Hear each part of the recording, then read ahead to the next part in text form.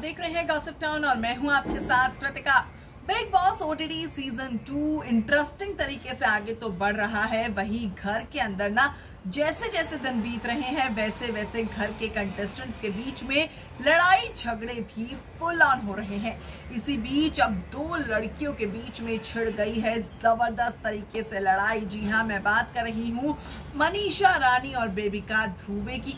यूँ तो बीते कई दिनों से इन दोनों के बीच में गहरी दोस्ती दिखाई दे रही थी, काफ़ी केयर शेयर कर रही थी बातें शातें होती थी दोनों की, पर अब अचानक बेबिका को हो गया है कुछ ऐसा कि उन्होंने मनीषा को यू नो आड़े हाथों ले लिया है और मनीषा को सुना दी है काफ़ी सारी गंदी बातें। इतना ही नहीं, बेबिका की लड़ाई झगड़ों से हर कोई वाकिफ है। बेबिका की ज़ुबान कभी रुकने का नाम नहीं लेती। पर क्या आपको पता है, इस बार बेबिका ने मनीषा के साथ कर दी है तमाम हदे पार और मनीषा को यू you नो know, बहुत कुछ ऐसा बोल दिया है जो कि सुन के फैंस नो फैंस ने भी अपना कान पकड़ लिए है क्योंकि मनीषा ने साफ़ तौर पर माफ़ कीजिएगा क्योंकि अब बेबिका ने मनीषा पर साफ़ तौर पर ना कीचड़ उछाला है। उनके कैरेक्टर पर उठा दिए है सवाल और बोल दी है उन्हें एक ऐसी बात जो कि फ़ैन सुनकर हैरान है और यहाँ तक कि मनीषा के भी आँसू निकल गए हैं।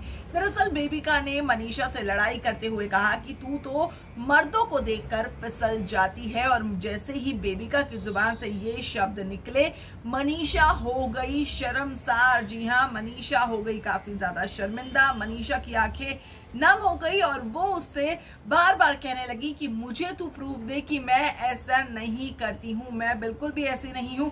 तूने किस उसमें बोल दिया कि मैं मर्दों को देखकर फिसल जाती हूँ, मेरा बिहेवियर है कि मैं हँसी मज़ाक करती हूँ, मैं सबसे फ्रेंडली हो जाती हूँ फ्लर्ट करती हूँ, लेकिन इसका ये मतलब नहीं है कि मैं फिसल जाती हूँ मर्दों को देखकर। लेकिन बेबिका को अपनी बात पर बोलने पर कोई भी पछतावा नहीं है, लेकिन मनीषा को बहुत ज़्यादा लग गया है अब बेबिका की बात का बुरा। और आपका क्या है इस पर रिएक्शन क्या लड़ाई में बेबिका को मनीषा को इतनी गंदी बात बोलनी चाहिए थी? कैसा लगा वीडियो? ज़रूर बताइएगा इस वीडियो में। इतना ही।